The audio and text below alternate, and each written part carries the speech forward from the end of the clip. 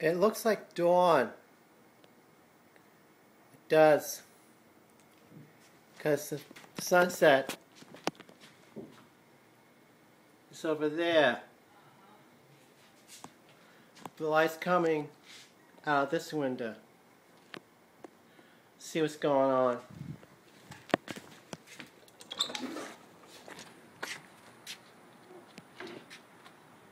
Oh, here's where the light's coming from. Big, huge cloud.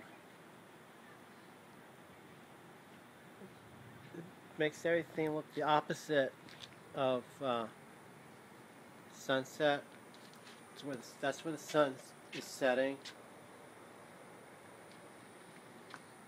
But it's brighter over here. So the light's coming from. It's Saturday, June the 27th, somewhere around 8 o'clock.